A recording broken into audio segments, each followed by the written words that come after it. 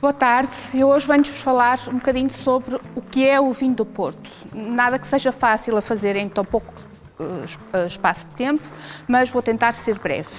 Em simples palavras, eu posso vos dizer que o vinho do Porto é um vinho fortificado, o que quer dizer que é um vinho que tem açúcar residual e tem um alto teor alcoólico. Como é que isso se faz?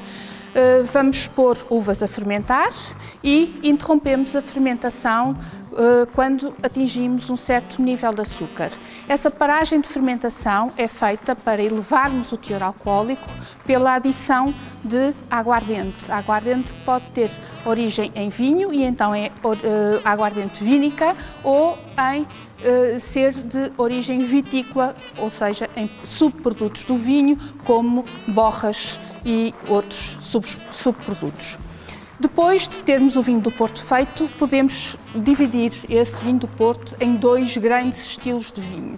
Os vinhos do Porto Taunis, que envelhecem em pipas de vinho de, de menor dimensão, para que o contacto uh, uh, com o oxigênio seja muito, muito grande e os vinhos se vão oxidando com maior facilidade e percam a cor vermelha para terem uns tons mais alaranjados e mais amarelos e o, a família dos vinhos do Porto Rubi que envelhecem em grandes uh, balseiros como estes que temos aqui e que uh, mantêm uma cor rubi jovem uh, porque o contacto com o oxigênio é mais pequeno.